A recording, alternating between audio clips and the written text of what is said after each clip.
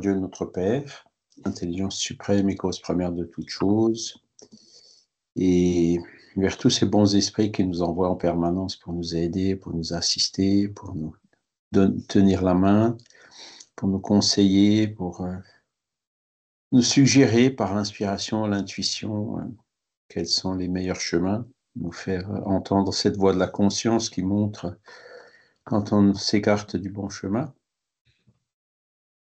Et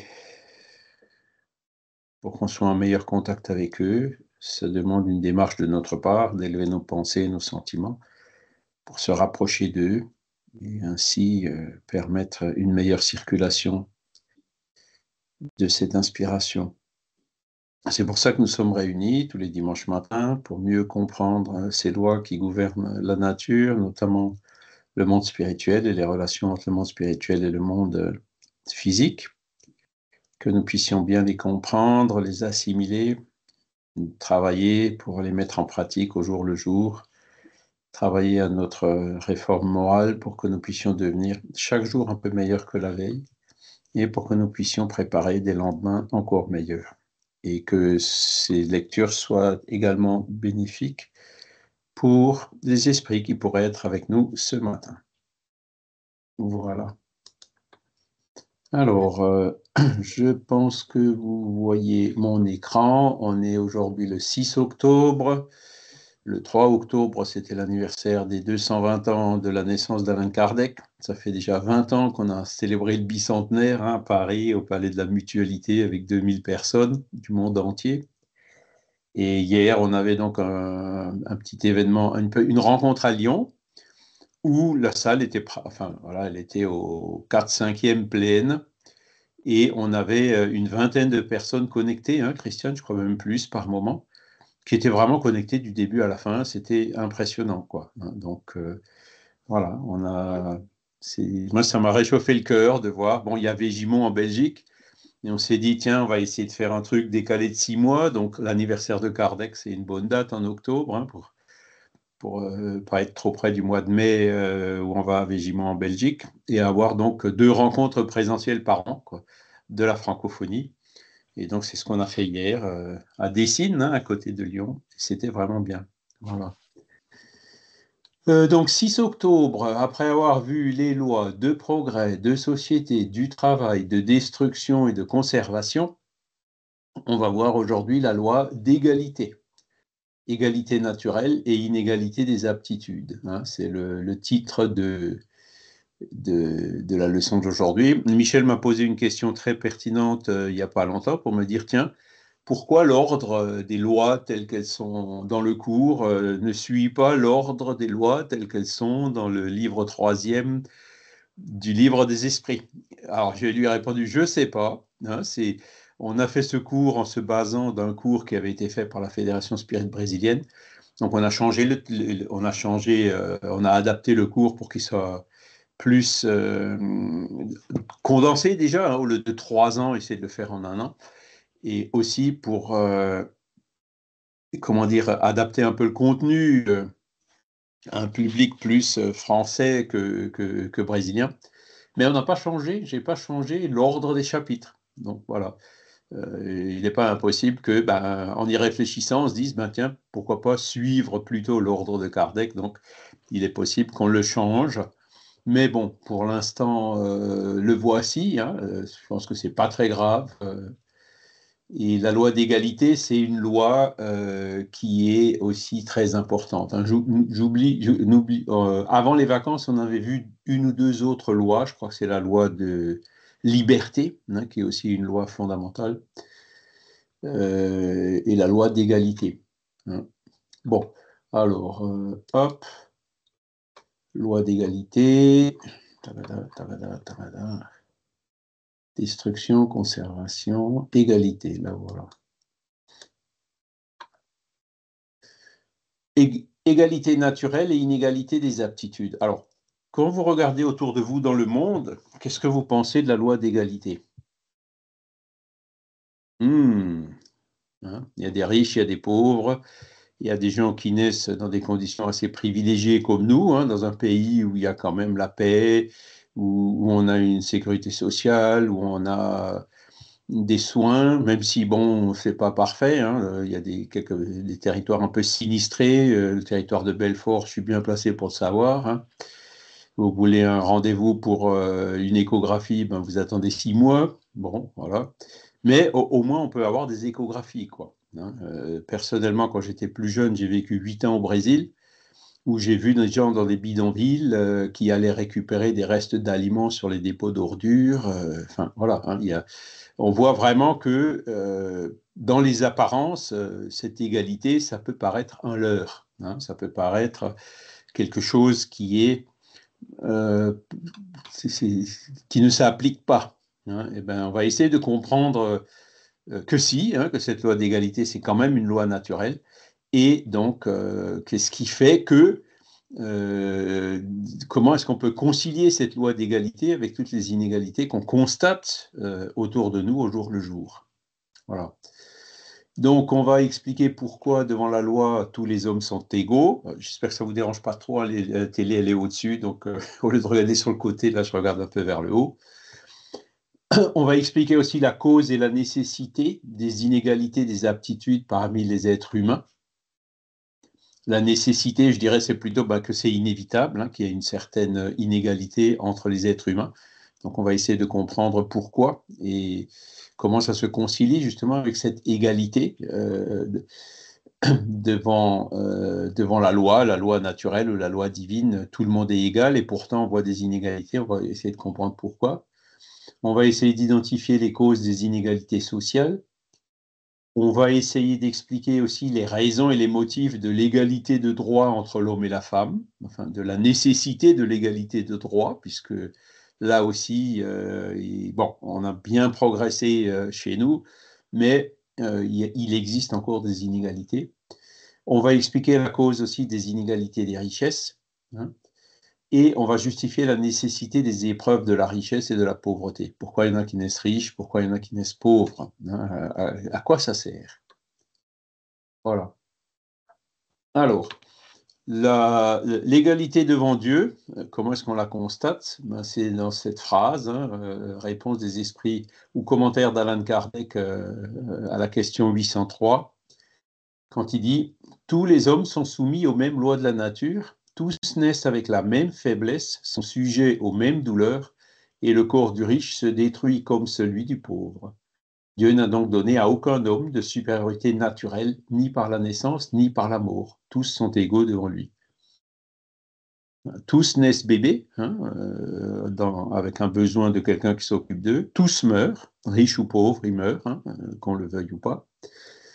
Euh, donc, tout le monde ben, passe par certaines difficultés, par des douleurs physiques, qu'ils soient riches ou qu'ils soient pauvres. Donc, à, ce niveau-là, il n'y a pas de différence. Hein. Là où il peut commencer à y avoir des différences, effectivement, je vous, l'accorde, c'est que le riche, ayant plus de moyens de se soigner que le pauvre, ben, il a des chances de vivre un peu plus longtemps, de mourir moins vite. Hein. Mais malgré ça, il mourra quand même un jour. Hein. Le riche ayant plus de moyens, il aura plus de possibilités de prendre des antidouleurs et de se soigner, donc théoriquement moins de souffrance physique que le pauvre. Euh, le riche, il aura peut-être plus de moyens d'aller voir des psychologues ou, autres pour euh, essayer de l'aider à, surmonter euh, ses souffrances psychologiques ou, ou morales. Hein. Euh, mais euh, tout le monde en a, d'accord? Et souvent, les riches euh, se préoccupent plus, ont plus de soucis que le pauvre qui n'a rien. Hein. Donc, voilà, cette égalité devant Dieu, on la voit déjà même en regardant dans une seule vie, en, faisant toutes ces constatations. Hein. Euh, l'exemple, bon, si vous sautez par la fenêtre, que ce soit un riche ou un pauvre, il est soumis à la loi d'attraction universelle, la loi de la pesanteur, de la gravité, et riche ou pauvre, en sautant par la fenêtre, il va tomber. Hein. Donc, vous sentez bien par là que euh, les lois de la nature s'appliquent à tout le monde. Hein. Il n'y a, pas de, Dieu ne fait pas de privilèges ou d'exceptions euh, pour les uns ou pour les autres. Les lois de la nature sont là elles sont sages, bienveillantes, parfaites, euh, elles, assurent un équilibre euh, dans, dans, dans la nature hein, et elles s'appliquent à tout le monde. D'accord? Donc, c'est là qu'on voit cette euh, égalité devant Dieu. D'accord? Après, on peut se dire, oui, mais le riche et le pauvre. Ok, je vous concorde que, bon, c'est sûr, le riche, son espérance de vie est plus longue, etc. Et c'est là où on, introduit une notion supplémentaire, c'est la notion de réincarnation. Hein. Celui qui est né riche dans cette vie peut très bien être pauvre dans la vie suivante et vice-versa. Donc là, on a un facteur supplémentaire hein, qui vient dire, voilà, devant Dieu, tout le monde est égal. Vincent? Je me souviens que euh, lorsque j'ai eu mon premier enfant, je n'étais pas marié. J'ai eu quand même un livret de famille dans lequel euh, j'avais des enfants naturels. Et je me suis marié. après, j'ai eu un, carnet de famille avec euh, marqué enfant légitime. Mmh et je, pense qu'il y a toute une symbolique autour de, du fait d'être naturel ou légitime, au moins de par la loi.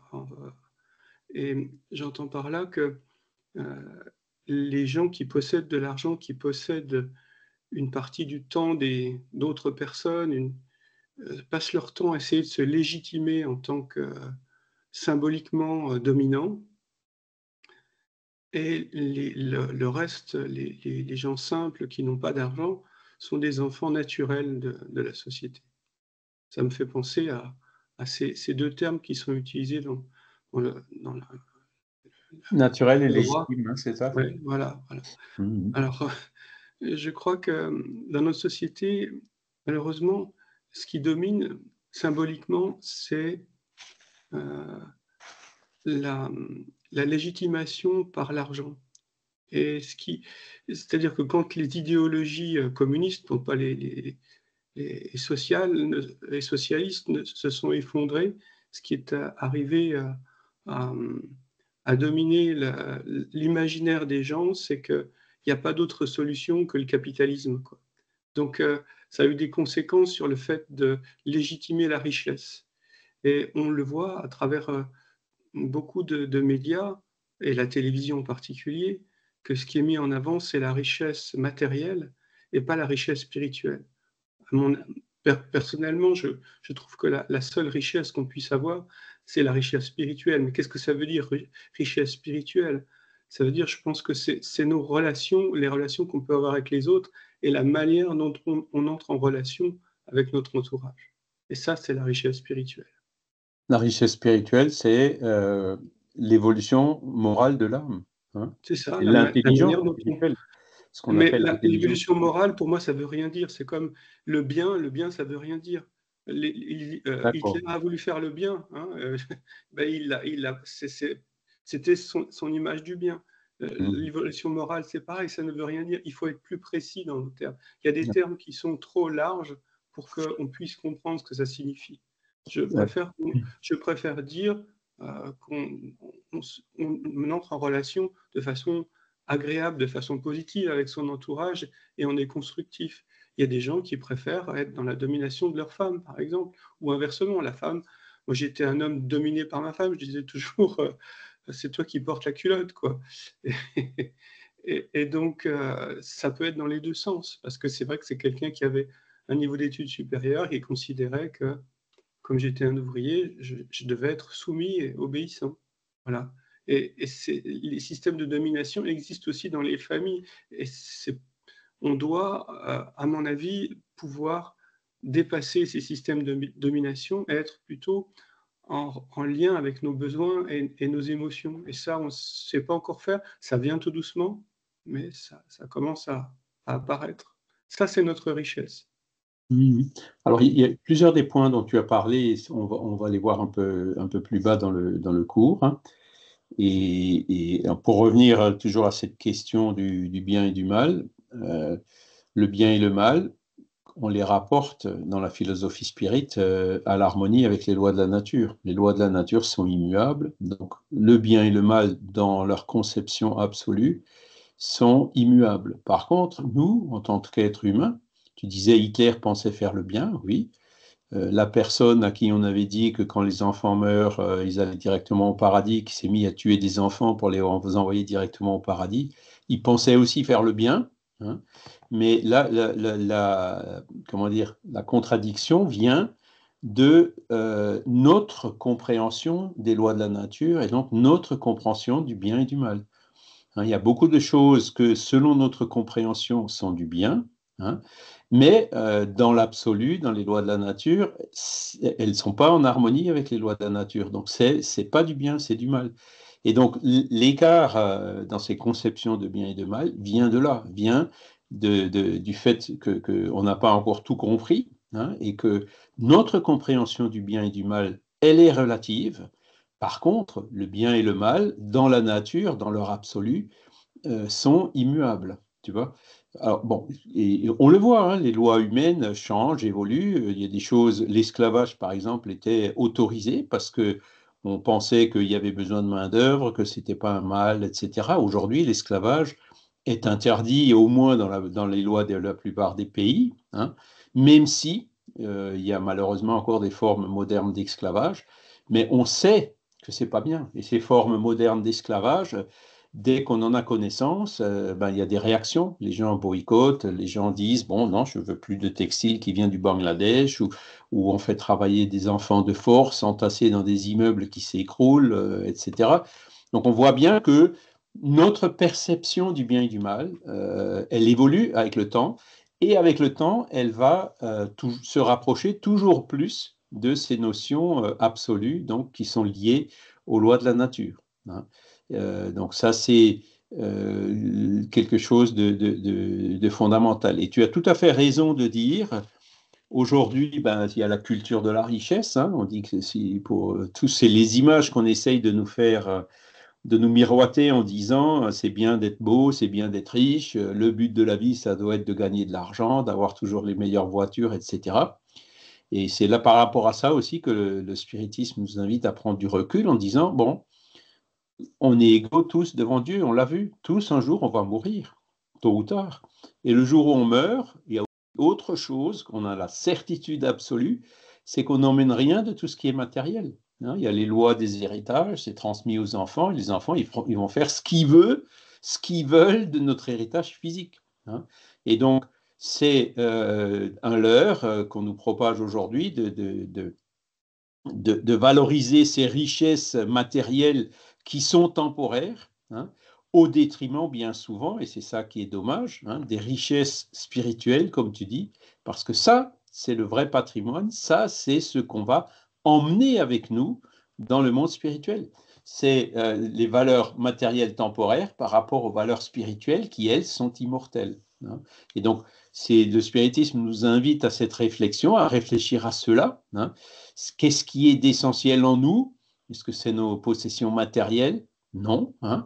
Euh, par contre, euh, ce qu'on a appris et puis les qualités qu'on a réussi à acquérir, euh, les qualités intellectuelles ou morales ou spirituelles, celles-là, on va les emmener avec nous. Hein. Donc, on, on, change le point de vue. D'accord? Et par rapport à cette égalité de tous devant, Dieu, euh, il y, a, effectivement ça. Chacun doit évoluer. Hein. Le riche, il peut être milliardaire. Hein.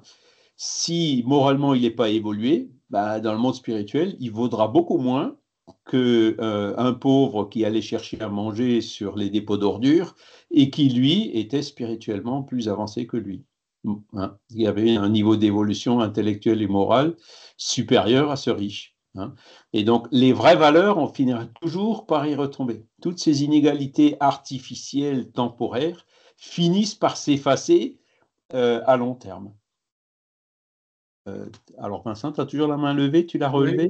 Oui, vas-y. Il y a en ce moment trois, trois reportages qui sont très intéressants sur Arte, sur Pompéi. Pompéi, cette ville qui a été ah recouverte par les, les, cendres du Vésuve et qui qu'on retrouve, on retrouve, on fait, fait encore l'archéologie et on retrouve des, des résidences romaines. Et euh, dans une des résidences romaines, il y a euh, une partie centrale où le, seigneur du lieu, on peut pas le dire autrement, euh, qui a des esclaves évidemment, reçoit dans cette partie centrale de la maison Et dans les, pièces attenantes, il y a par exemple un fournil. Et on, s'est aperçu que les gens étaient enfermés dans le fournil. Il y avait des barreaux à cette pièce, sur des fenêtres hautes, et les, gens étaient euh, mal nourris, euh, passaient leur temps à travailler. C'était des esclaves, quoi. Et, euh, et l'égalité était vraiment pas. C'est-à-dire qu'on est toujours en, admiratif de, de, la, de, la, richesse des, décors, de, la beauté de ces maisons, mais il faut pas oublier que ces, ces maisons étaient construites sur l'esclavage, en fait, hein, sur la possibilité de, de, faire des hommes des objets. C'est-à-dire qu'on considérait que ces hommes étaient des objets. Et tout ça pour finir, j'ai encore eu une discussion ce matin avec ma mère qui me disait, quand j'étais jeune, je ne pouvais pas ouvrir de compte bancaire. Il fallait que mon père vienne avec moi pour ouvrir un compte bancaire. Et le droit de vote est, aussi venu assez tard, en France en tout cas. Après la Deuxième Guerre mondiale Oui, ouais. Et donc, euh, elle disait, euh, les femmes étaient considérées comme des objets mobiliers de par la loi. ça a été longtemps encore le cas, c'est-à-dire qu'on pouvait assurer un chien, assurer un animal de compagnie, et les femmes étaient considérées comme un objet mobilier. Il n'y a pas si longtemps en France. Mmh. Ben voilà. Donc tu vois, comme, quoi, hein, c'est quelque chose qui n'était pas en accord avec cette loi d'égalité devant Dieu, et les lois humaines ont fini par évoluer pour s'adapter, se rapprocher toujours plus euh, de cette loi naturelle. Alors, on va continuer un peu. Euh, voilà, tout le monde est soumis au même, doit naître, être petit, dépendant, ensuite, voilà, avoir toutes, les, toutes les choses liées à, notre nature de corps physique, et tout le monde, un jour ou l'autre, va mourir. Hein. Il y a même ce leurre de, les gens qui se font congeler hein, pour espérer ne pas mourir et qu'on puisse les décongeler euh, quelques décennies plus tard pour euh, les guérir et faire de sorte qu'ils continuent à vivre.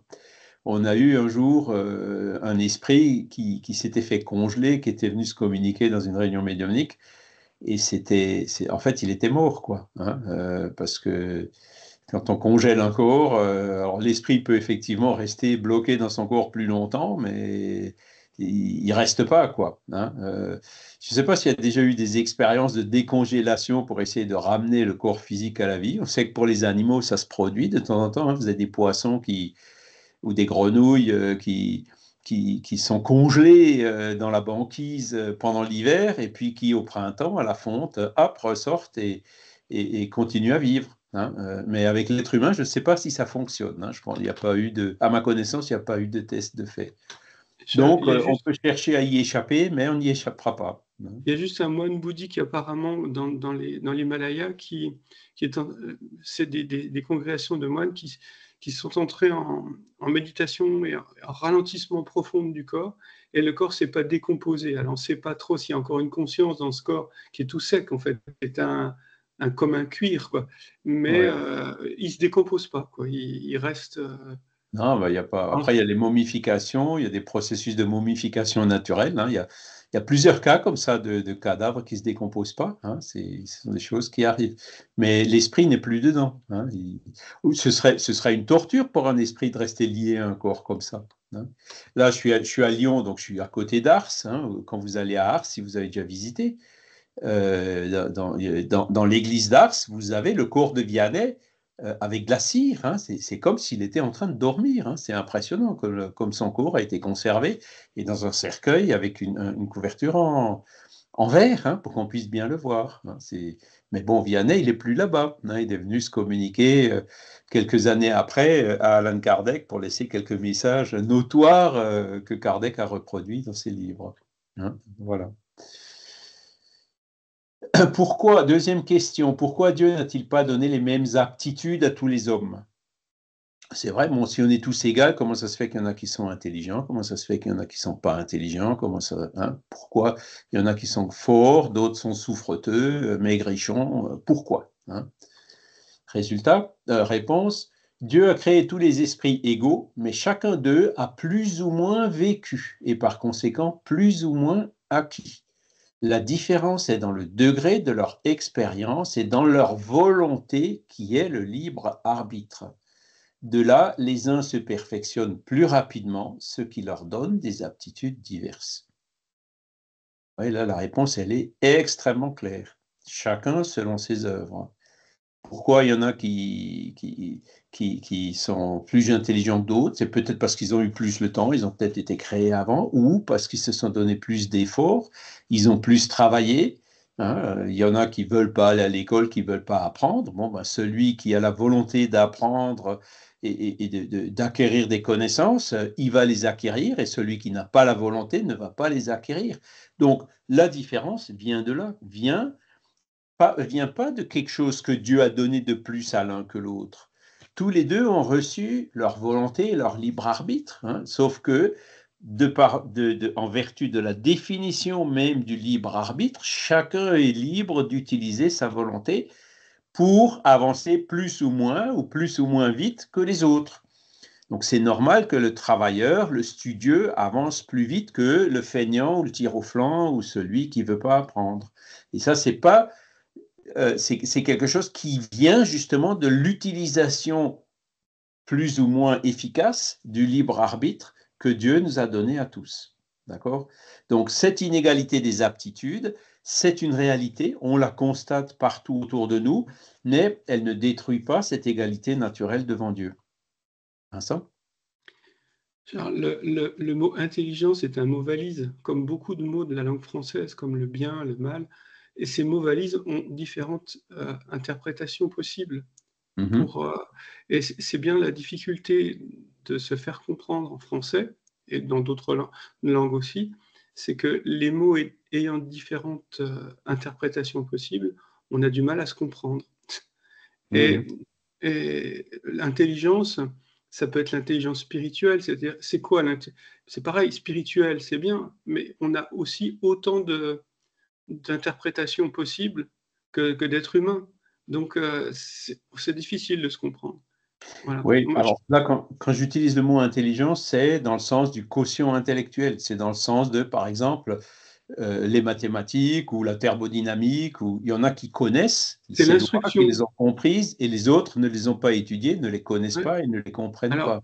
Tu, tu parles d'instruction. Alain Kardec en parle aussi, il parle d'instruction.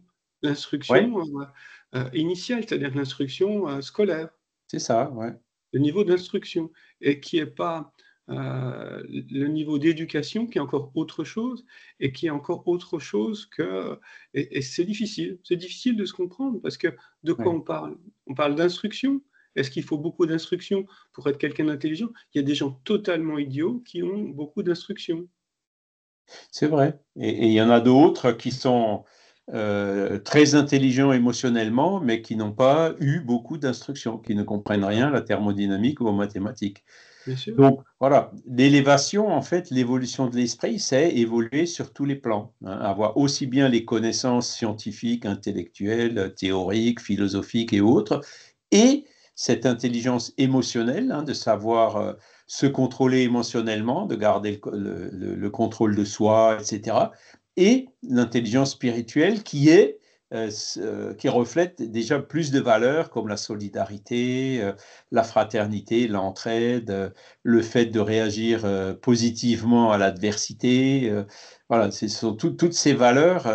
voilà. Donc l'intelligence, c'est vrai qu'elle couvre énormément de domaines différents et variés. Et, mais, mais ça ne change rien à ce qu'on vient de dire. Ceux qui ont acquis de l'intelligence dans tous les sens du terme, ce sont ceux qui ont travaillé ces questions-là, hein, euh, qui ont plus travaillé ces questions-là par rapport à d'autres. Alors vous pourrez aussi me dire, oui, mais ce n'est pas, pas vrai, parce que celui qui est riche, il aura plus facile euh, d'avoir accès euh, à l'éducation que celui qui est pauvre. Certes, mais bon, pareil, en France, l'école primaire, secondaire, elle est accessible à tous. Alors même là, vous pouvez me dire, oui, mais le riche, il peut avoir des cours du soir que le pauvre ne peut pas avoir. C'est vrai, c'est vrai. Mais voilà, il y a, beaucoup de pauvres qui euh, font des études brillantes. Hein. C'est-à-dire, même si c'est sûr s'il y a des facteurs qui encouragent ou qui facilitent, la porte n'est fermée à personne. Hein. Euh, moi-même, je suis issu d'un milieu socioculturel modeste. Hein. Mon père, il n'avait même pas le certificat d'études. Et pourtant, j'ai réussi à avancer malgré tout euh, jusqu'à faire des études d'ingénieur. Et je me suis très bien rendu compte que dans l'école d'ingénieur, hein, l'école des mines à Paris, que des, gens qui étaient comme moi, issus d'un milieu socioculturel modeste, il y en avait cinq ou six euh, sur une, sur une classe de 70. Les autres, on leur demandait, ton père, il fait quoi? Ah ben, il est ingénieur, il est prof d'université, il est ci, il est ça. Et le tien, il est quoi? Ben, Il est brossier, artisan brossier. Bon, euh, mais on y arrive, et j'étais pas le seul, il y en a quand même d'autres qui étaient arrivés. Hein. Euh, voilà, et c'est là aussi où, heureusement, chez nous, euh, on a ça. Après, vous allez dans d'autres pays, c'est vrai qu'il y a parfois, j'ai vu un jour un reportage aussi sur euh, quelqu'un qui était né dans un bidonville en Colombie et qui était vraiment une personne brillante, quoi, vraiment l'esprit euh, élevé, qui avait fait son chemin, euh, bien qu'il était né dans un bidonville avec les influences du trafic de drogue et tout, il avait réussi à résister, à surmonter tout ça. Voilà. Charles, je crois qu'un un esprit, te dirais, c'est le nombre d'incarnations, c'est pas le ça se, joue au, nombre d'incarnations parce que plus il y a d'incarnations, plus on a fait d'expériences et plus on est riche au niveau spirituel. Ça se joue au nombre d'incarnations, mais ça se joue aussi à la qualité des incarnations. Hein. Euh, c'est sûr que plus, si tu as eu plus d'incarnations, tu as plus de chances d'avoir appris plus de choses. Mais après, quand tu prends une incarnation, tu en as un qui bosse, qui va avancer beaucoup plus que celui qui fait rien, qui reste dans l'oisiveté. Tu vois Donc c'est la quantité et la qualité la qualité dans le sens, les efforts qu'on fait d'utilisation du libre arbitre pour avancer, pour apprendre. Et pourquoi on est là aujourd'hui ce matin? C'est justement pour essayer de comprendre et pour essayer d'avancer. Hein. c'est voilà, on est tous ici, euh, vous êtes tous en train de faire des efforts justement pour essayer de comprendre ces choses. Pourquoi? C'est pas pour moi, c'est pour vous, c'est pour votre âme, c'est pour que vous vous puissiez avancer. Hein. Moi, je vous demande rien en retour. Hein. Je, vous demande juste euh, d'avancer, de comprendre et d'être heureux. Hein. C'est tout. Je vous demande rien d'autre. Je suis là pour ça. Voilà. il n'y a pas d'examen, il n'y a pas de contrôle. Euh, voilà, on, donne. Kardec a, envoyé, a, écrit ses enseignements. Moi, je, fais, je suis juste un transmetteur dans cette histoire. Et, voilà, c'est après pour que chacun de vous puisse utiliser ces notions pour euh, travailler, pour avancer. Donc, c'est là où on voit que euh, sur Terre, on, est, euh, il y a un mélange. Hein. Vous avez des gens qui sont intelligents, d'autres pas. Vous avez des gens qui sont riches, d'autres pauvres. Et ça, c'est tout simplement, comment dire, une des, ça s'explique comme on vient de le voir. Hein. c'est une conséquence du nombre d'incarnations et de la qualité des incarnations. Hein. Et donc, pourquoi est-ce qu'on a ce mélange des aptitudes sur la Terre? Donc, ça, c'est la question suivante. Le mélange des aptitudes est nécessaire afin que chacun puisse concourir au vu de la Providence dans la limite du développement de ses forces physiques et intellectuelles. Ce que l'un ne fait pas, l'autre le fait. C'est ainsi que chacun a son rôle utile. Puis, tous les mondes étant solidaires les uns des autres, il faut bien que les habitants des mondes supérieurs, et qui, pour la plupart, sont créés avant le vôtre, viennent y habiter pour vous donner l'exemple. Vous voyez, monde supérieur, les esprits qui ont plus avancé, ben, ils ont été créés avant nous. Donc là, là on peut dire, OK, ça, il a été créé, l'esprit d'Emmanuel ou de Chico Xavier ou de Kardec a été créé avant le mien. Bon, OK. Mais est-ce que c'est une injustice pour autant? Non, puisque la création, en fait, elle est continue. Hein. Il y a des esprits qui sont créés en permanence et que euh, même si Chico et autres, heureusement qu'il a été créé avant moi, parce qu'il Kardec, ils ont pu venir nous écrire des choses comme ça, Hein, qui nous permettent à nous bah, de suivre leur chemin. C'est quand même mieux d'avoir quelqu'un qui vous explique euh, comment il faut faire plutôt que d'essayer de chercher, de creuser par l'expérience, d'essayer de développer tout tout seul par nous-mêmes. Ça prendrait beaucoup plus de temps. Et il dit aussi, voilà, il y en a qui sont forts physiquement, d'autres qui sont forts intellectuellement. Donc, chacun a son rôle. Donc, l'ouvrier qui, qui est ou, celui qui travaille dans les champs, il a un rôle tout aussi important que l'ingénieur agronome ou l'ingénieur qui a conçu une machine. Chacun travaille, apporte ce en quoi il est bon, apporte sa contribution à l'ensemble qui bénéficie in fine tout le monde. Hein. Et, donc, pour vous donner l'exemple, bah, ce sont les missionnaires, hein. c'est le Jésus qui est venu. Hein. Euh, voilà, euh, qu'est-ce qu'il faut faire dans tel cas Qu'est-ce qu'il faut faire quand on voit une femme adultère Qu'est-ce qu'il faut faire quand ben, il, suffit de suivre euh, les idées qu'il nous a laissées, son exemple, et ça fait 2000 ans.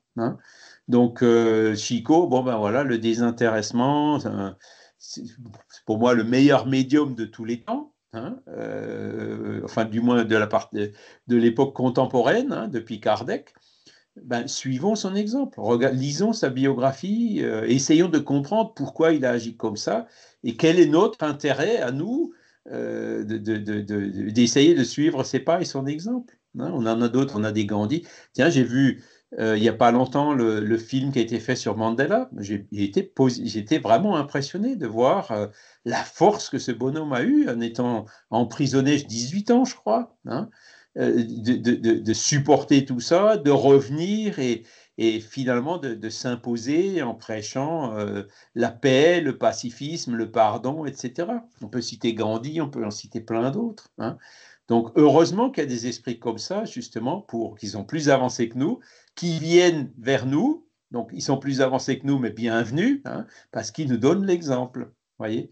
Donc euh, ce mélange des aptitudes de professeurs et d'élèves, en quelque sorte, est nécessaire. Hein.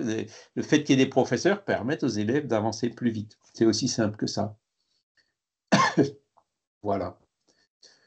Alors, l'inégalité des concessions sociales n'est pas une loi de nature, elle est l'œuvre de l'homme et non celle de Dieu. Alors, on touche un peu un autre sujet. Donc, euh, vous avez un contemporain de Kardec, s'appelait Karl Marx. Hein. Euh, Karl Marx, euh, bon, il avait des idées révolutionnaires et hein, qui se sont propagés en disant tout le monde est égal. Hein, donc il y a eu des idéalisations qui sont allées jusqu'au principe euh, qu'on appelle certaines formes de communisme, hein, de dire voilà, riche ou pauvre, euh, donc il faut vraiment que tout le monde soit traité pareil, tout le monde soit mis sur un plan d'égalité. Donc ce sont des systèmes qui ont été mis en œuvre, notamment en Russie, après la révolution de 1917, me semble-t-il, la révolution des bolcheviks. Euh, et qui ont été après euh, appliqués euh, dans tous les pays, beaucoup de pays où il y avait cette influence russe, hein, notamment l'Europe de l'Est. vous avez d'autres régimes qui, les suivent, hein, comme ben, en Chine, hein, par exemple, qui était aussi avec Mao Tse-tung. Alors, différentes, il y a différentes formes de communisme. Vous avez, pareil, avec les influences qui ont influencé euh, le Vietnam du Nord ou la Corée du Nord ou autre. Hein, euh, bon. Et d'un autre côté, vous avez des systèmes qui sont plus libéraux, euh, comme le système plutôt occidental, plutôt américain, japonais ou autre. Alors, quel est, le meilleur, quel est le moins bon? Il ne s'agit pas ici de porter un jugement, hein, mais il s'agit peut-être de les comparer chacun par rapport à ces lois naturelles, par rapport à cette loi d'égalité. Est-ce que traiter tout le monde sur un pied d'égalité, euh, c'est en phase avec les lois de la nature hein?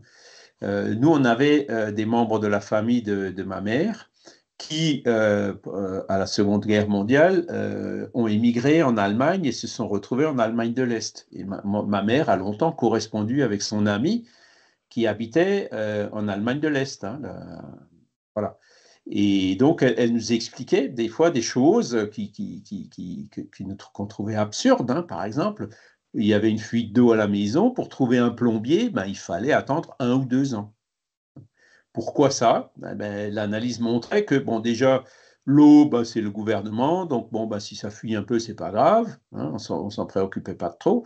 Et ensuite, euh, ben, les plombiers, ben, ils, étaient tous traités pareil. Hein. Donc le plombier travailleur était traité euh, comme le plombier paresseux. Hein. Et donc, euh, résultat de ça, ben, le plombier travailleur, il a dit, mais pourquoi moi je travaillerais plus que le plombier paresseux? Donc il s'est mis à devenir paresseux lui aussi. Et résultat, euh, on trouvait plus de plombiers. Hein.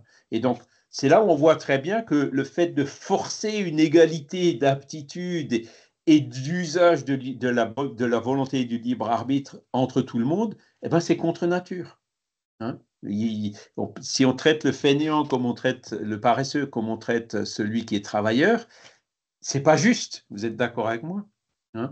Et donc, dans un but de vouloir bien faire, d'encourager de, une, une, meilleure égalité sociale entre les personnes, en fait, euh, ces systèmes-là, ils sont allés trop loin. Hein. ils vont contre nature.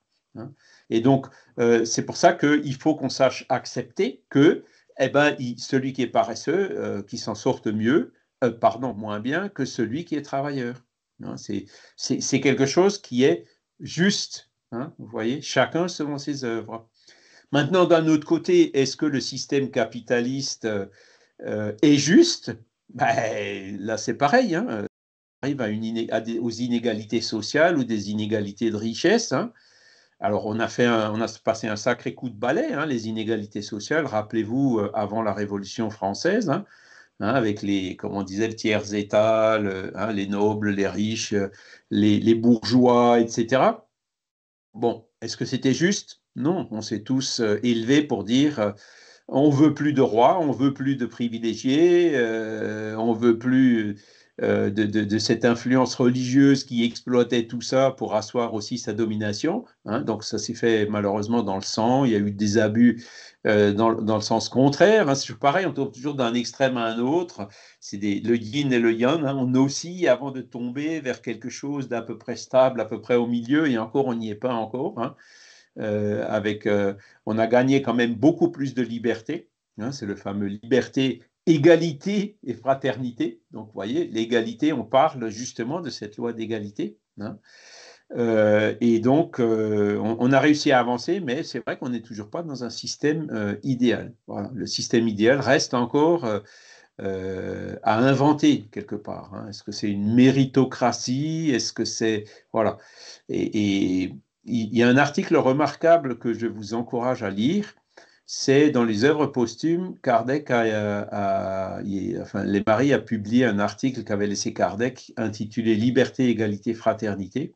Je ne sais pas si vous l'avez lu, juste pour vous donner un petit avant-goût. Kardec, dit, bon, euh, en fait, il faudrait prendre dans l'autre sens. Hein. Il faut commencer par la fraternité, parce que sans fraternité, il n'y a pas de liberté, et sans liberté, ah non, pardon, sans fraternité, il n'y a pas d'égalité, et sans égalité, il n'y a pas de liberté. Voilà, donc euh, il, développe euh, son idée de façon euh, assez remarquable. Hein. donc voilà, il faut qu'on aille vers un système qui soit plus solidaire, plus fraternel, plus durable. On, le sait, on le sent, hein, mais il reste encore à le mettre en pratique. Il faut que nos dirigeants politiques, hein, les députés pour lesquels on a voté il, y a, quelques mois de ça, il faudrait que ce soit des personnes qui aient un certain désintéressement qui voient l'intérêt global, public, collectif, avant de voir leur intérêt individuel. Hein, quelqu'un qui veuille, même en étant nommé Premier ministre, comme on l'a vu, servir la population dans ses besoins de base avant de penser à 2027. Je suis un peu dur dans ce que je dis, mais pour moi, celui qui aujourd'hui commence déjà à magouiller à prendre des décisions, à mettre le bâton dans les roues à l'autre uniquement parce qu'il veut tirer son épingle du jeu pour 2027, si ça tenait qu'à moi, dehors. Il serait viré euh, le lendemain. Bon, on ne peut pas faire ça. Pourquoi? Parce qu'il a été élu démocratiquement, les gens ont élu. C'est pour ça que moi je, dis ces choses-là, pour vous inciter à réfléchir. Hein. Je ne suis pas quelqu'un qui vous encourage à faire une révolution ou à aller dans la rue ou pas. Non, c'est pas ça. Mais au moment de voter, réfléchissez bien et euh, quelque part exigez que euh, voilà qu'il y ait plus d'éthique, plus de désintéressement euh, dans, dans, la politique, même chez nous. C'est pour ça que nos systèmes, les systèmes américains de, de, de, libre consommation basés sur la richesse, la concurrence et tout, sont pas non plus en accord avec les lois de la nature. ça va trop loin. Parce que c'est des systèmes qui sont trop souvent et d'ailleurs le communisme aussi, basé sur des principes matérialistes. Hein, j'ai qu'une vie, faut que j'en profite un maximum, hein, parce que euh, après, il euh, n'y a plus rien. Or, nous, on sait, tu peux être riche dans cette vie, en profiter un maximum, mais ton âme continue, ta conscience, tu la gardes. Et ta conscience, quand elle verra que tu as été égoïste pendant toute ta vie, que tu es passé par-dessus les autres, que tu n'as pas partagé avec ceux qui étaient dans le besoin et que toi, tu te noyais dans le superflu, ça, ça fait mal. Et ce n'est pas quelqu'un qui nous fait mal. Nous, notre propre conscience, c'est elle qui va nous juger. C'est elle qui sera notre bourreau, comme dit Léon Denis. Je suis désolé, je suis un peu dur dans mes... Je ne sais pas pourquoi, mais enfin voilà. Mais c'est la vérité. Et le fait d'être conscient de ça, bon, ben hop, on redescend un petit peu de notre piédestal en disant, bon, ok, je ne vais pas euh, donner ma maison, euh, me défaire de toutes mes richesses et aller vivre comme un ermite dans la rue. Non, il ne faut pas tomber dans ces extrêmes-là. Mais c'est de trouver justement le, juste milieu. Hein, de, de, de, travailler à cette égalité en étant conscience des motifs et des raisons profondes de ces différences et de ces inégalités telles qu'on peut les observer. Michel, pardon, je n'avais pas vu que tu avais levé la main. Non, mais c'est bien. Euh, moi, je comprends tout à fait, je suis d'accord. Et c'est vrai qu'à l'heure actuelle, les systèmes politiques font que du coup, on ne sait plus trop où on en est. Et on a vu les limites euh, de ces systèmes qui arrivent même à des extrêmes maintenant. Et en fait, ce qui va se passer, à mon sens, c'est que le jour où on va commencer peut-être à ouvrir un peu les yeux sur euh, les limites de ces systèmes, on n'y est peut-être pas encore, mais bientôt, eh bien dans ce cas-là, le système sera plutôt euh, basé sur euh, un système de responsabilité. En fait, chacun prendra ses responsabilités, c'est-à-dire qu'il n'y aura plus de couverture communiste où en fait tout appartient à l'État, il n'y aura plus de peut-être de libéralisme ou d'hyper-libéralisme où en fait c'est la guerre et la course euh, vers l'argent, mais chacun aura ses responsabilités. Et ça, je pense que c'est peut-être un système euh, politique qui n'existe pas encore et qui reste à inventer et à créer. Alors, je, mets un petit bémol par rapport à ce que tu dis. Tu dis chacun aura ses responsabilités. Moi, je, rectifie ça en disant chacun a ses responsabilités. Mais chacun n'est pas encore conscient de ses responsabilités. Tu vois ce que je veux dire? Donc, chacun aura conscience de ses responsabilités. Hein, c'est juste, voilà, je mets un petit, je rectifie un peu ce que tu dis, mais effectivement, tu as tout à fait raison. Et pourquoi on est là aujourd'hui? C'est justement pour que euh, on puisse nous réfléchir chacun à ces choses-là et prendre conscience de nos responsabilités dans cette société en tant que dirigeant, en tant que père, en tant que citoyen qui vote, en tant que professeur à l'école, en tant que balayeur de rue ou en tant que cadre dirigeant dans une grande entreprise. Hein, qu'on puisse prendre conscience de nos responsabilités. Vincent? Il y, a, eu euh, dernièrement une avancée, euh, euh, une avancée sociale et, politique intéressante il y a eu les états généraux de, l'écologie où il y a eu des, euh, des, citoyens qui ont été désignés pour euh, faire des assemblées et être formés ah pour euh, apprendre ce que, quels sont les enjeux de l'écologie et faire des, des, propositions. Bien sûr, elles n'ont pas été prises en compte, mais la démarche de prendre des citoyens lambda, de les former et de leur proposer une délibération, euh, c'est très riche. En fait, il est sorti de, de, cette, de ce mouvement des, des, avancées, vraiment des, des, idées très, très novatrices. Et ça, au niveau démocratique, ça a vraiment apporté une, une possibilité. Quoi.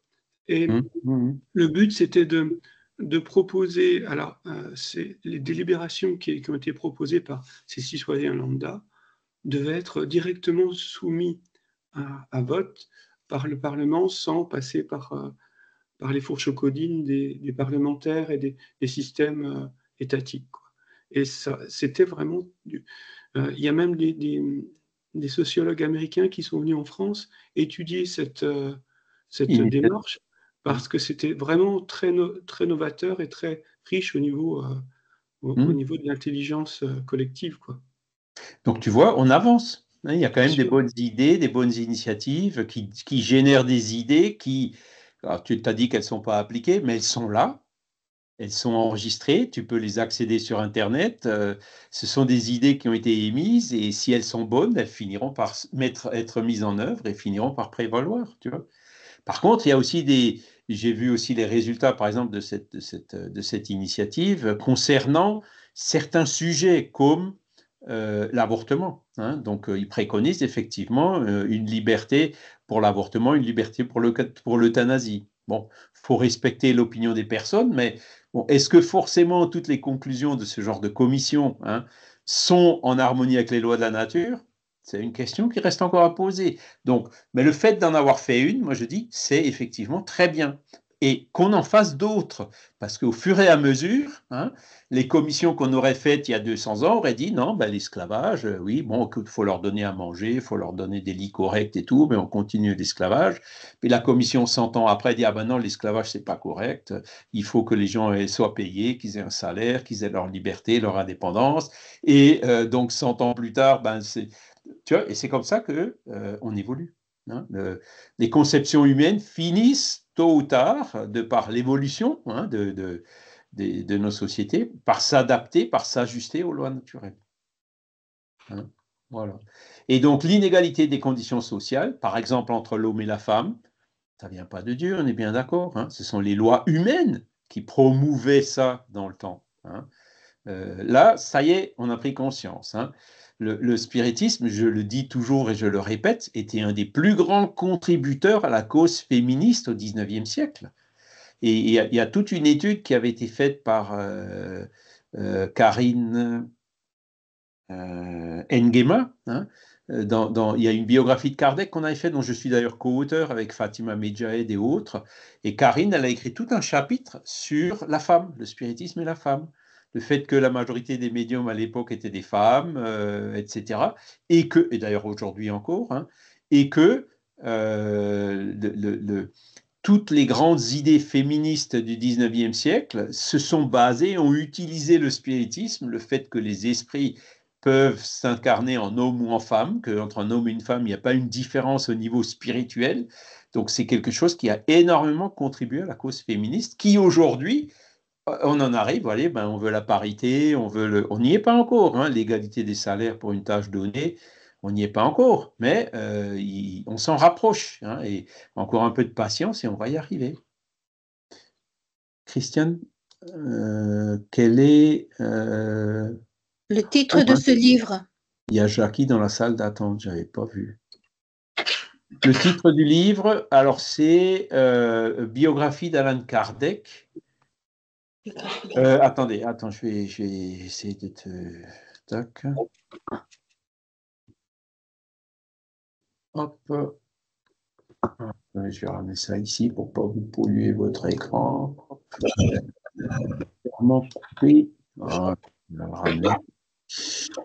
Euh...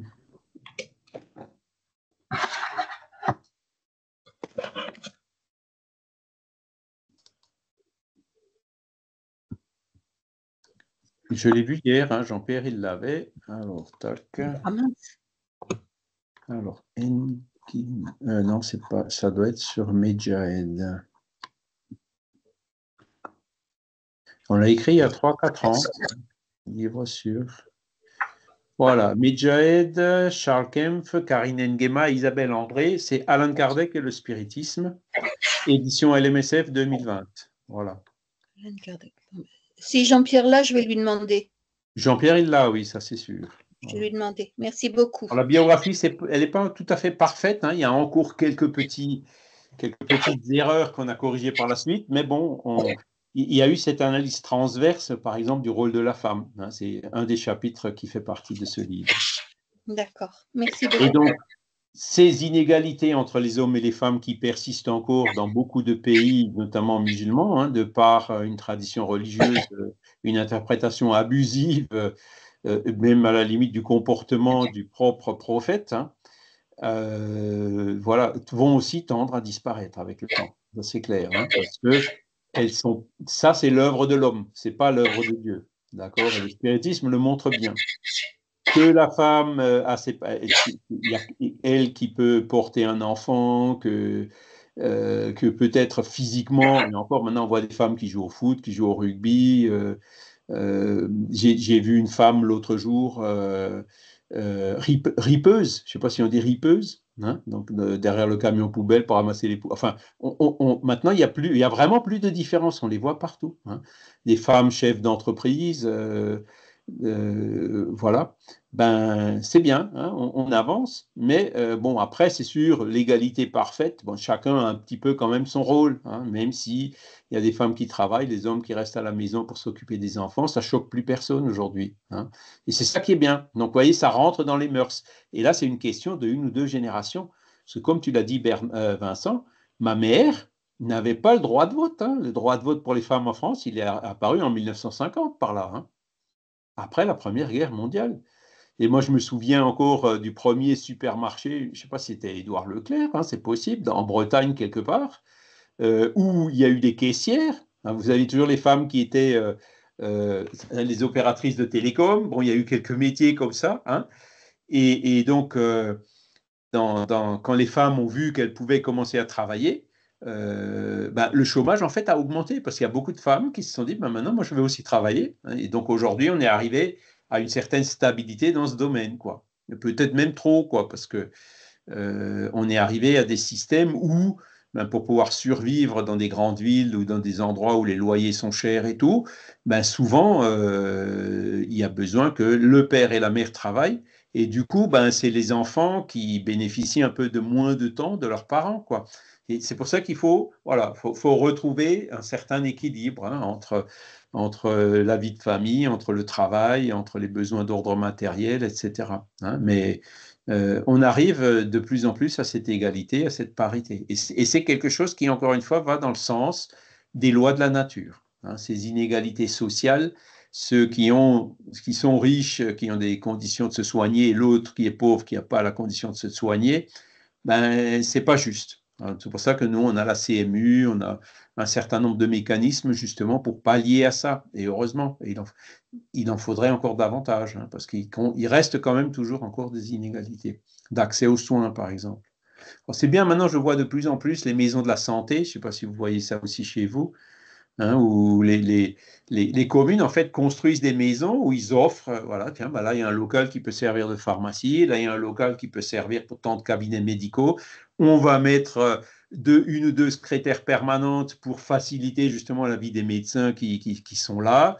Euh, voilà, tout est fait quand même pour pallier à ces inconvénients et assurer justement qu'il n'y ait plus de déserts médicaux, que, que cette égalité d'accès aux soins, par exemple, puisse se conserver. Ça va pas tout seul, hein, parce que c'est, bien sûr, le gars, il veut gagner plus en étant, ou alors être plutôt euh, sur la côte d'Azur que euh, dans le territoire de Belfort. Hein, c'est sûr, c'est beaucoup plus attrayant. Euh, mais voilà, heureusement qu'il y a comme, on fait quand même tout ce qu'il faut pour essayer de compenser tous ces effets-là. Il faut, toujours qu'on cherche ce juste milieu, cet équilibre. Et 806, les inégalités disparaîtront avec la disparition de la prédominance de l'orgueil et de l'égoïsme. Il ne restera que l'inégalité du mérite. Donc pourquoi il y a des inégalités aujourd'hui? Pourquoi il y a des gens qui sont abominablement riches et d'autres qui n'ont même pas de quoi manger? C'est à cause de l'orgueil et de l'égoïsme, hein, qui, qui découle directement du matérialisme. Vous enlevez un peu cet égoïsme, celui qui a, il va être porté naturellement à donner à celui qui n'a pas. D'abord en commençant à donner de son superflu.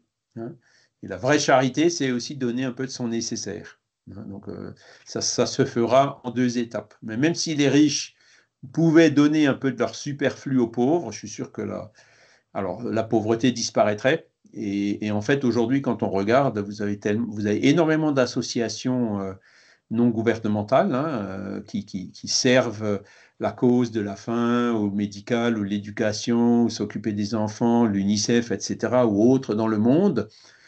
Euh, et, malgré tout, il y a encore beaucoup de gens qui, qui, sont sur la paille. Et quand on regarde les blocages aujourd'hui, c'est pas une question d'aide et de solidarité, elle est déjà là. Les blocages se font dans les régimes où le pouvoir est corrompu et dévie cette aide avant qu'elle arrive à ceux qui en ont besoin. Ça, c'est les, hein. Quand vous regardez où sont ces 700 millions de personnes dans le monde qui mangent pas à leur faim aujourd'hui, vous voyez qu'elles sont à 80% dans une dizaine de pays.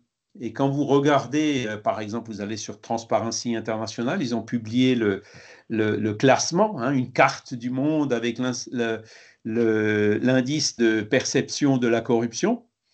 Euh, et donc, euh, ces dix pays sont toutes sont tous dans les deux dernières colonnes, c'est-à-dire ceux où il y a le plus de corruption.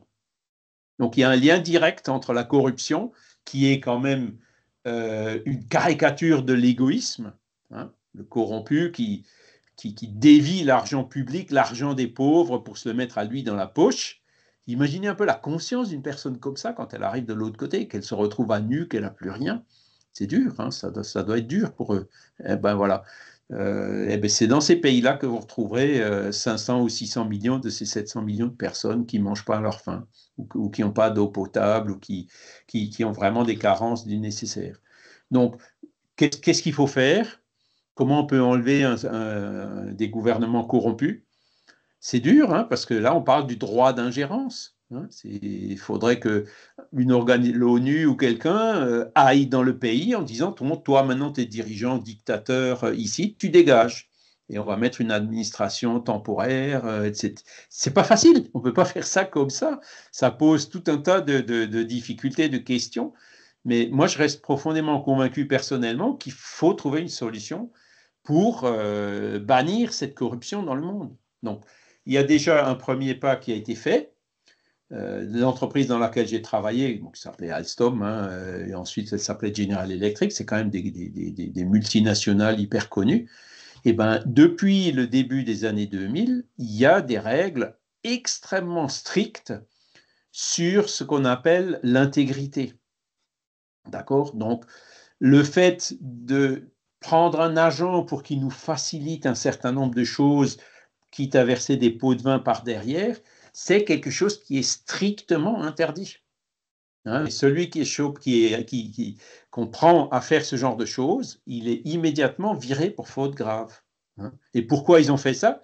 Parce que maintenant vous avez des lois, notamment une loi américaine, qui a une portée extraterritoriale, c'est-à-dire un Français qui corrompt quelqu'un d'un pays corrompu, euh, pour peu que les virements qu'il a fait passent euh, par euh, une banque américaine ou quelque chose comme ça, les Américains peuvent emprisonner ce Français et le condamner euh, pour corruption. Et ça, ça peut, les, amendes, c'est de l'ordre de 10 ou 15 ou 20% du chiffre d'affaires annuel de l'entreprise. C'est des, centaines de millions d'euros d'amendes. On a eu plusieurs exemples. Moi-même, j'ai eu un, supérieur hiérarchique qui était pendant 2-3 ans en prison aux États-Unis, euh, parce que ben, avant qu'il y ait ces règles, hein, à la fin des années 90 ou tout, tout début des années 2000, ben, voilà, c'était une pratique courante, ça se faisait. Aujourd'hui, ça ne se fait plus. Donc, vous voyez, quelque part, on coupe. Hein, euh, le, le, c'est le corrompeur qui est condamné. Hein. donc, c'est une excellente initiative. Quand j'ai vu ces choses-là arriver, je me suis dit, ah, ça, franchement, ça me va bien. Hein, parce que j'étais toujours un peu obligé de me défendre, hein, d'aller voir mes chefs et de leur dire, écoutez, bon, vous pouvez me demander ce que vous voulez, faire quelque chose pour vous faire mousser, ça ne me dérange pas, mais ne me demandez pas de faire un truc tordu parce que c'est contraire à ma conscience, je ne le ferai pas. Donc, je vous préviens, vous pouvez me demander ce que vous voulez, mais pas ça. Et donc, euh, j'ai toujours, euh, j'ai jamais, bon, voilà, j'ai jamais souffert euh, de ce genre de choses. Euh, mais bon, je savais qu'au début des années 90, par exemple, bah, c'était une pratique courante. Hein. et donc, ça, c'est quelque chose, si vous voulez, parce que la corruption vient d'où? Vient de, des corrompeurs. Hein. Donc, dans nos sociétés occidentales, euh, c'est quelque chose qui est très sévèrement puni. Après, bon, quand c'est des choses, par exemple l'armement, quand c'est des négociations directement entre gouvernements ou autres, c'est peut-être autre chose. Donc, il faut continuer à aller jusqu'au bout hein, dans ces actions. Après, vous avez d'autres pays comme la Chine, la Russie. Ben, bizarrement, c'est eux qui sont aujourd'hui en Afrique hein, pour s'accaparer les terres rares, euh, les métaux, euh, je ne sais quoi, les ressources de je ne sais où. Euh, bon, voilà, les Africains, ils sont en train de pousser les Français dehors. Les Françaises, ben, c'est sûr, parce qu'ils ils alimentent plus comme avant, quoi. Hein. Et, ben, du coup, vous avez des, Russes et des, enfin, d'autres qui viennent prendre la place et continuer J'espère que ce sera que pour un certain temps et que tout ça, ça s'arrête pour que euh, ces, régimes corrompus puissent définitivement être éradiqués de notre planète. Ça va encore mettre du temps. Hein. You may say I'm a dreamer, but I'm not the only one, disait John Lennon. Hein. Vous pouvez dire que vous pouvez penser que je suis un rêveur, mais je ne suis pas le seul. Voilà, on va y arriver. Donc voilà, le, un jour viendra où les membres de la grande famille des enfants de Dieu ne se regarderont plus comme du sang plus ou moins pur. Il n'y a que l'esprit qui est plus ou moins pur et cela ne dépend pas de la position sociale. Hein, c'est super bien dit. Hein. Ça, c'est. Merci Kardec hein, pour ce genre de choses. Et ça, c'était il y a 150 ans. Il y a 150 ans, euh, les inégalités, l'esclavage et tout, euh, c'était pas encore ça. Voilà. L'homme et la femme sont-ils égaux devant Dieu et ont-ils les mêmes droits? Réponse Dieu n'a-t-il pas donné à tous deux l'intelligence du bien et du mal et la faculté de progresser? Vous voyez, c'est très clair. Hein, hein euh, voilà, aucune différence. Ce sont les mêmes esprits qui peuvent se réincarner, homme ou femme. Donc, euh, voilà, aucun motif de discrimination, quel qu'il soit. Et ça, c'est homme, femme, blanc, noir, grand, petit, euh, euh, etc. Hein. Quelle que soit la couleur de peau, etc. Hein. ça s'applique à toutes les formes de discrimination. Hein. Tout privilège accordé à l'un ou à l'autre est contraire à la justice. L'émancipation de la femme suit le progrès de la civilisation. Puisque les esprits peuvent prendre l'un et l'autre, il n'y a point de différence entre eux sous ce rapport et par conséquent, ils doivent jouir des mêmes droits. Il a fallu attendre un siècle pour qu'on ait au moins le droit de vote en France. Que les, femmes aient le droit de vote en France. Hein, bougez pas.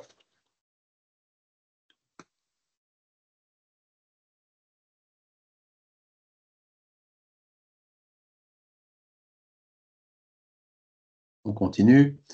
L'inégalité des richesses n'a-t-elle pas sa source dans l'inégalité des facultés qui donnent aux uns plus de moyens d'acquérir qu'aux autres? C'est aussi une bonne question. Hein. Est-ce que l'inégalité des richesses, il faut complètement l'abolir et la bannir ben, Alors, les, esprits disent oui et non. Hein. Il dit la ruse et le vol, qu'en dis-tu? Donc, celui qui acquiert, plus de richesses parce qu'il travaille plus, parce qu'il utilise plus euh, sa volonté pour faire le bien, pour être utile, etc., c'est légitime. Par contre, le spéculateur, ceux qui, hein, les, extorqueurs, les manipulateurs, les voleurs, non, ça, c'est pas légitime. D'accord? Là aussi, c'est très, simple et très clair. Voyez? La richesse héréditaire n'est pourtant pas le fruit des mauvaises passions. Hein? bon, il y en a qui, c'est Johnny Hallyday. Hein. je suis le fils de personne. Je suis pas nécessaire. Je suis pas né avec des milliards dans mon berceau, si je me rappelle bien de la chanson. Euh, oui, ben oui, c'est ça. Mais Johnny est quand même devenu milliardaire. Hein. Il est né pauvre, mais il s'en est sorti parce que il avait des talents, il les a utilisés, etc. Bon, il n'était pas parfait, hein, mais voilà, euh, il, a eu son mérite quand même. Hein. Il a été admiré par beaucoup de gens, à juste titre, je le reconnais. Voilà. Euh, quand sais-tu? Remonte à la source et tu verras si elle est toujours pure. Sais-tu si dans le principe elle n'a pas été le fruit d'une spoliation ou d'une injustice? Voilà. Donc celui qui n'est riche, si on hérite de biens qui ont été spoliés ou du résultat de la spéculation et tout, bon, alors celui qui hérite, à la limite, c'est pas lui qui a spéculé, mais voilà, euh, il n'y a, pas forcément trop de légitimité non plus. Et ce qu'on voit aussi souvent, c'est des gens qui, ont hérité et qui euh, ont fait, sont tombés dans la misère plus tard. Hein. la, loi de justice fait bien les choses. Hein. Euh. Il y a un livre qui est intéressant sur ce sujet, c'est Et la vie continue. Hein. c'est le dernier de la série André Louis. Il, y a un film aussi qui a été fait. C'est assez intéressant. Voilà. Les biens de la terre appartiennent à Dieu qui les dispense à son gré et l'homme n'en est que l'usufruitier, l'administrateur plus ou moins intègre et intelligent. Les biens de la terre appartiennent à Dieu. Ils ne nous appartiennent pas puisqu'on va les laisser ici quand on va partir. Hein, même notre corps physique. Là, je suis usufruitier de mon corps physique, donc j'essaye de l'utiliser au mieux pour être le plus utile aux autres. Hein. Voilà. Euh, mais ça ne m'appartient pas. Je sais très bien qu'un jour, euh, ça peut être dans cinq minutes, ça peut être dans, quelques enfin, dans une décennie ou deux maintenant. Hein, euh, hop, il va falloir que, que, je redonne ça à Dieu, que je le redonne à la terre. voilà. Et pareil avec euh, l'argent, les héritages, la voiture, la maison, euh, tout va rester ici. Hein. Pourquoi Dieu a-t-il donné aux uns les richesses et la puissance et aux autres la misère? Réponse pour les éprouver chacun d'une manière différente. D'ailleurs, vous le savez, ces épreuves, ce sont les esprits eux-mêmes qui les ont choisis et souvent ils y succombent. Le choix de n'être riche ou pauvre, c'est le plus souvent nous qui l'avons fait avant de se réincarner. C'est notre choix. D'accord? Souvent, ils y succombent. Alors, on peut succomber à l'épreuve de la richesse, hein, en laissant euh, développer notre égoïsme et en faisant un mauvais usage euh, de cette richesse euh, qu'on avait décidé d'avoir. Hein. On dit non, je veux n'être riche pour faire beaucoup de bien. Sauf que manque de peau, quand on est dans la richesse, on oublie la promesse qu'on avait faite. Hein. C'est ce que je dis, c'est ce que j'appelle aussi la charité conditionnelle. Ah, je vais d'abord gagner au loto, après je vais faire beaucoup de charité. Non, fais comme la, veuve, hein, donne ton obol, ton, petit sou de rien du tout, maintenant. Hein. Euh, c'est ça qui fera que si un jour tu es riche, eh ben, tu continueras à donner, euh, je dirais, dans, la même proportion. Mais toute la charité conditionnelle, il faut d'abord que moi je sois bien pour ensuite pouvoir aider les autres. Souvent, euh, la, plupart du temps, c'est juste un prétexte. Quoi, hein, Et la pauvreté aussi, c'est une épreuve. C'est être euh, dans la pauvreté sans être dans la révolte, sans être dans euh, révolte contre Dieu, révolte contre les autres, euh, tomber dans la violence ou dans les trafics divers et variés. il y a aussi énormément de, travers dans lesquels on peut tomber. Hein. Voilà. La misère, provoque le murmure contre la providence, la richesse excite à tous les excès. Hein. Donc ça, c'est euh, les travers dans lesquels on peut succomber si on fait un mauvais usage de notre richesse ou si euh, on, se révolte par rapport à une épreuve de pauvreté qu'on a nous-mêmes choisie. L'élévation dans le monde et l'autorité sur ses semblables sont des épreuves tout aussi grandes et tout aussi glissantes que le malheur. Car plus on est riche et puissant, plus on a d'obligations à remplir et plus, grands sont les moyens de faire le bien et le mal on est riche, on peut profiter de la richesse pour nous égoïstement. Euh, après, il y a des riches qui en plus utilisent la richesse pour faire le mal, pour spéculer, pour faire encore plus, pour fabriquer des armes, pour dominer, pour aller faire la guerre aux pays voisins, etc. Hein. Euh, voilà, donc ça, euh, effectivement, ça nous, c'est une épreuve glissante. Hein. La richesse, c'est beaucoup plus risqué entre guillemets que la pauvreté dans une vie. Hein. Donc là, notre responsabilité, elle, augmente en proportion. Dieu éprouve le pauvre par la résignation et le riche par l'usage qu'il fait de ses biens et de sa puissance. La richesse et le pouvoir font naître toutes les passions qui nous attachent à la vie, qui nous attachent à la matière et nous éloignent de la perfection spirituelle. Tu vois, là, il, dit perfection spirituelle, hein, il ne dit pas la perfection au niveau de l'intelligence. Et donc, bon, ben, c'est tout à fait ça. Hein, c'est difficile. Hein, être riche, c'est un challenge. Être pauvre, c'est un challenge aussi. Mais euh, dans les deux cas, si on s'y prend bien, ça peut nous aider à évoluer. Donc, ce qu'on dit ici, c'est on ne dit pas que les riches, ils, vont tous se retrouver euh, euh, dans, le seuil. Hein. Non, pas du tout. Il y, a, des riches qui font énormément de choses, énormément utiles, qui montent des usines, qui donnent du travail à plein de gens, qui, etc., etc., etc. Vous avez même des, fonds qui font des fondations, Rockefeller, la fondation Bill Gates, la fondation je ne sais quoi. Donc, il y en a beaucoup qui font énormément de choses. Hein. Euh, Lady Diana aussi, hein, qui, qui, avait là aussi énormément d'actions caritatives partout dans le monde. Voilà, c'est ces exemples-là qu'il faut qu'on essaye de suivre, hein. même si, quand on y regarde de plus près, souvent, ils donnent que un peu de leur superflu. Quoi. Ça fait rien, c'est déjà un premier pas, c'est déjà un premier exemple. Hein. Voilà, on est arrivé à la fin. Je suis désolé, on a déjà un peu dépassé le temps. Euh, est-ce que vous avez des remarques ou des questions?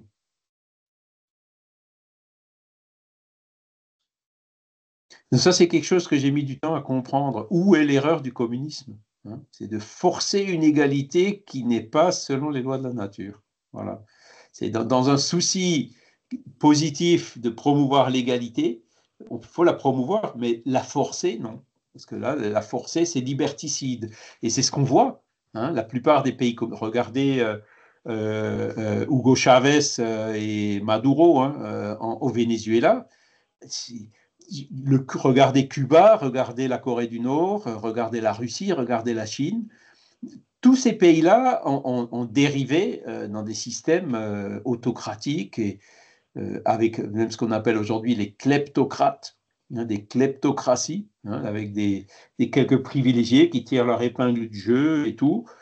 Il n'y a, aucun de ces systèmes qui a fonctionné. Donc, c'est pas là, on est allé trop loin. Il faut travailler maintenant pour trouver le juste milieu. Michel, tu avais levé la main? Euh, Oui, c'est peut-être la misère du communisme sans Dieu, en fait. Alors c'est ça, ouais. Moi quand j'écoute, bon après il y a des communistes, il y a des socialistes, il y a Socialisme et Spiritisme de Léon Denis, je vous encourage à le lire, hein. c'est des articles qu'il a publiés dans la revue Spirit. C'est assez intéressant parce qu'il fait une bonne analyse. Et, lui, en fait, il arrive euh, à la conclusion en disant, bon, le socialisme c'est bien, il cite Jean Jaurès, Jean Jaurès qui est quand même connu partout ben, comme exemple du socialisme qu'il faudrait qu'on promeuve. Parce que Jean Jaurès, il était socialiste, mais il avait des idées spiritualistes. Hein, et, socialisme dans le sens améliorer les conditions sociales du peuple, tout le monde est d'accord avec ça qu'il faut améliorer les conditions sociales du peuple. Hein, on est tous d'accord. Hein. mais euh, dans, la manière de faire, dans les différents systèmes qui prétendent euh, euh, être les meilleurs pour encourager euh, cette, ce travail pour améliorer les conditions sociales du peuple, ben, il y en a qui sont plus ou moins opportuns, il y en a plus ou moins euh, conformes aux lois de la nature. Et, Léon Denis dit, mais un socialisme spiritualiste où les gens comprennent qu'ils ont une âme, ils comprennent ces questions de richesse que, que, temporaires par rapport aux valeurs de l'âme qui sont éternelles, ces valeurs aussi qui, qui nous font réfléchir un peu à l'orgueil et à l'égoïsme qui nous servent à rien, au contraire, qui nous retardent dans notre évolution et tout. À partir du moment où vous avez un idéal fort et rationnel derrière, là oui, ces systèmes socialistes peuvent avancer. Mais quand je vois les socialistes d'aujourd'hui, hein, j'ai toujours eu, j'ai voté Mitterrand, moi j'ai toujours eu cette âme un peu socialiste, même avant d'être spirit à l'époque. Hein. Euh, mais mais aujourd'hui, ils me déçoivent beaucoup. Pourquoi? Parce que c'est les plus virulents, les plus durs, par exemple, euh, dans le matérialisme, hein, dans, dans, des questions comme l'euthanasie, l'avortement. Euh, ils sont socialistes, mais ils, ont, ils suivent une idée matérialiste. Quelque part, c'est comme une espèce de paradoxe, hein, parce que le bien-être social viendra par les valeurs spirituelles et pas par des valeurs matérielles. Donc, ils sont sur une fausse route. Hein. Et quand je vois même plus récemment le comportement de, de, quelqu'un qui se dit euh, dirigeant du Parti socialiste. Hein. Un jour, il dit un truc, le lendemain, il dit le contraire. Enfin, non, moi, c'est. Non, non. Mitterrand, il n'était pas comme ça. Hein. Il a dit je vais abolir la peine de mort, il l'a fait. Hein. c'est, il a fait des trucs super, Mitterrand, quand même. Il a, fait beaucoup de bêtises, il a peut-être dérapé aussi d'un point de vue personnel, etc. On peut lui reprocher plein de choses. Mais euh, d'un autre côté, il a quand même fait euh, l'abolition de la peine de mort, chapeau. c'est, il fallait le faire, il l'a fait. Hein, voilà.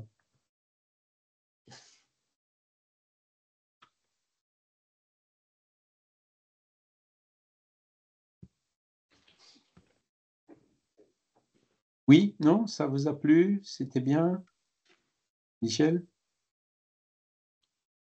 À propos du superflu, euh, ben, il y en a certains qui donnent de leur temps aussi. Oui, et ce n'est pas toujours du superflu, ça peut être du nécessaire, parce que le temps nous est quand même bien compté, et quand on donne de son temps, eh bien, peut-être qu'on donne de son nécessaire aussi, par rapport à d'autres choses qu'on ne fait pas. Moi, je reprends l'exemple de Chico. Il donnait de son temps. Hein. Il n'a jamais tiré un seul centime des livres qu'il a écrits, même quand son père avait, euh, avait besoin de médicaments et qu'ils n'avaient pas d'argent pour lui acheter des médicaments. Hein. Euh, son père lui a reproché de ne pas garder un peu d'argent pour lui de sa médiumnité, ben, il a tenu et il a toujours refusé. Euh, euh, voilà, donc Chico, c'est un exemple de quelqu'un qui a donné de son nécessaire. Hein. voilà. Et c'est ça qui a fait qu'il est devenu Chico.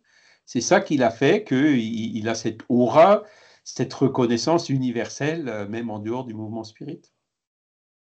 Vous voyez? Donc il avait raison, Chico. C'est cet exemple-là qu'il faut qu'on essaye de suivre.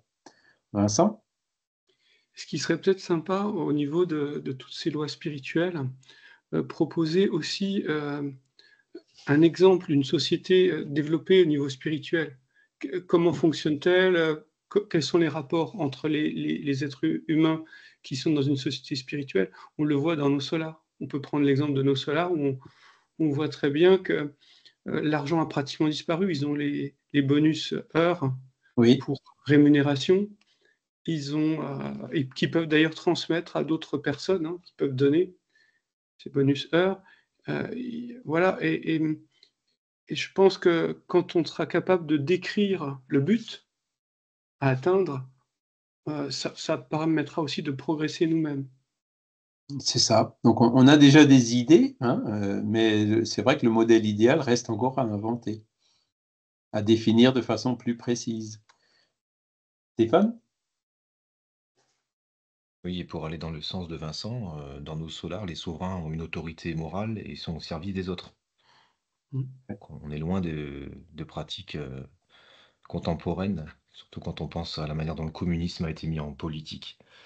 Euh, au mmh. passage, il y a un livre intéressant à lire de George Orwell qui s'appelle La ferme des animaux, qui parle tout à fait de, la mise en politique du communisme, la confiscation du pouvoir au nom de la, du peuple. Voilà.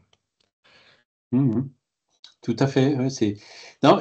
et c'est là où on voit que ces questions-là, ça, a 160 ans maintenant, hein, le livre des esprits, même plus, mais c'est encore, c'est encore brûlant d'actualité. c'est sûr, bon, il y a une coloration un peu religieuse, etc. On peut reprocher un peu la forme, mais les idées dans le fond, euh, ils ont frappé fort. Hein. Ils ont frappé fort et on est à peine en train de commencer à comprendre moi, je me dis toujours, je me dis, bon, quand je vois tous ces. Ça, il, hop, le mec, tiens, ben Macron, il a fait. Enfin, je, parle encore un peu de politique. Il a fait comment? Ben, Il a créé un parti, et puis finalement, il s'est fait. maintenant, il y en a un qui a créé un parti, l'autre, il a aussi créé un parti, le troisième aussi, il voit, il voit tous 2027. Bon, moi, je, prends note, hein, parce que ça, ce ne sont pas les attitudes. Euh, ils pensent d'abord à eux avant de penser au peuple. Donc, c'est vraiment l'exemple du genre de personne qui, qui, qui, qui n'a pas sa place dans ces milieux dirigeants, clairement. Hein. il ne faut, pas reprocher à nos dirigeants leur manque de spiritualité. Il y a aussi un gros manque de spiritualité dans la société. Le jour, nous, ce qu'on fait, c'est de l'éducation à la spiritualité. c'est vraiment la voie, c'est apprendre ce que c'est que, que, vivre. Et ça, ça manque dans la société. Les gens ne savent pas du tout de, de quoi, de quoi en effet. Quoi.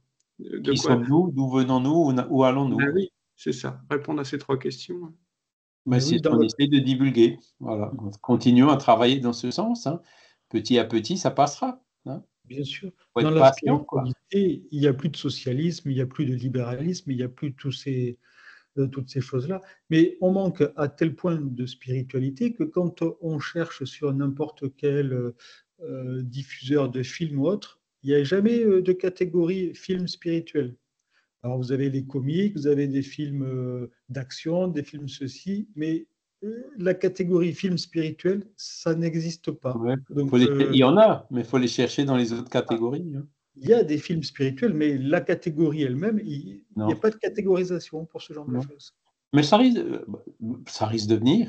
S'il y a une demande de la part du public nous faisons ce qu'il faut pour alimenter cette demande. Ben, euh, L'offre, elle va suivre. Il hein. faut, parfois savoir utiliser opportunément ces lois du marché, entre guillemets, pour les orienter vers les bonnes choses. Hein. tous les moyens sont bons pour arriver au bien.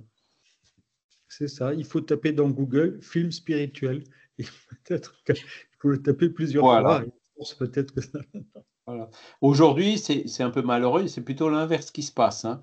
Parce que quand on parle, euh, j'ai un ami qui est cinéaste au Brésil, hein, réalisateur de films, euh, qui avait une société qui, s'appelait DVD Versatile, hein, qui, euh, produisait et vendait des DVD. C'est lui qui a, par exemple, récupéré les anciens enregistrements de Pinga Fogo, hein, de Chico Xavier, et qui les a remis. Ben, aujourd'hui, ils sont sur YouTube, ils sont partout.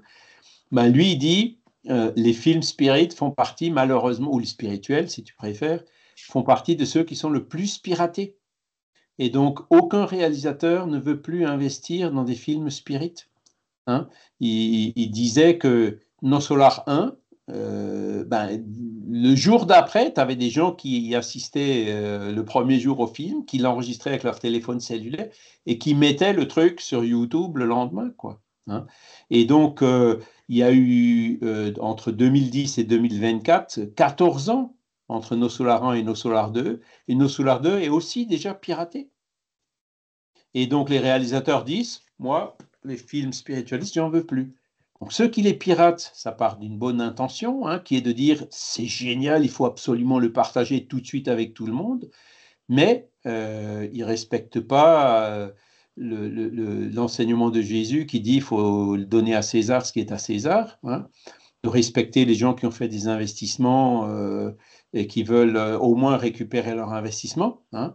Et, donc l'effet de ce qu'ils font, c'est eh ben, euh, aucun de ces investisseurs ne veut plus faire de films spiritualistes. Nos Solar 3 ne viendra peut-être jamais. Voyez Donc, c'est là où il faut euh, trouver le juste milieu, respecter quand même euh, un, minimum de choses pour qu'on puisse y arriver. C'est sûr. Il faut aller voir ces films-là ou même les acheter si on les a piratés. Ça n'empêche pas de pouvoir l'acheter après. C'est ça, oui, c'est ça, c'est ça. Mais bon, voilà. Même plusieurs fois. Avec les livres, c'est pareil. Hein. Les livres spirites sont tous, euh, dès qu'ils paraissent, ils sont piratés, tu les retrouves en PDF ici ou là. Et pour les livres, c'est même assez scandaleux. Il y a un, site qui a plein de livres piratés et il faut payer pour accéder aux livres qu'ils ont piratés. C'est dingue. Il y a encore un peu de ménage à faire dans ces choses-là. Ça prouve qu'il y a une forte demande quand même du coup. Ben oui, ben oui, Il y a une vraie soif de spiritualité et euh,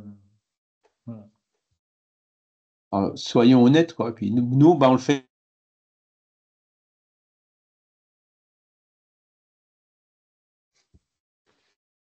Bon, Charles est gelé. Oui, ça, Vous êtes toujours là? Oui, oui, tu étais gelé, Charles. Tu viens de me mettre un message d'erreur. Les gens se réveillent, là, dimanche matin, ils commencent à se brancher sur le Wi-Fi de l'hôtel. Bon. Euh, mais vendredi, c'était, ça m'a fait drôle. Hein. C'est, c'est carrément tombé au, tout au début de la conférence. Heureusement que j'avais le téléphone avec le partage de connexion à côté. Parce que, bon, ok. Mais c'est l'heure, il hein, va falloir qu'on s'arrête. Et voilà. Hein. Donc, euh, c'est bien. c'est, qu'est-ce que vous pensez de euh, de cette loi d'égalité, ça, éclaire quand même pas mal des choses. Hein. Moi, je suis quand même plus égal que les autres. Hein, Oui, oui, mais ça, égal à quoi? Égal à moi-même, c'est déjà pas mal. Hein. voilà, donc ça déjà, et ensuite, euh, voilà. Ok, bah écoutez, on va remercier euh, les bons esprits qui étaient là avec nous aujourd'hui pour nous faire penser et réfléchir sur cette question assez fondamentale que ça puisse nous aider, comme on l'a dit au début, à avancer mieux et, plus rapidement et à faire plus d'efforts dans le sens euh, de notre évolution, de l'évolution de notre âme, et que par là même, euh, nous puissions aussi euh, travailler dans cette solidarité pour aider tous ceux qui sont autour de nous à nous accompagner. Voilà, y compris les esprits désincarnés. Merci à tous, excellent dimanche, et puis ce sera un plaisir de vous revoir euh, dimanche prochain. Merci.